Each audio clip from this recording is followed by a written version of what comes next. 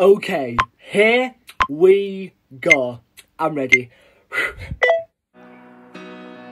Rest in peace, Marsha P. Harvey Milk, Oscar Wilde. Sorry that you can't grow old.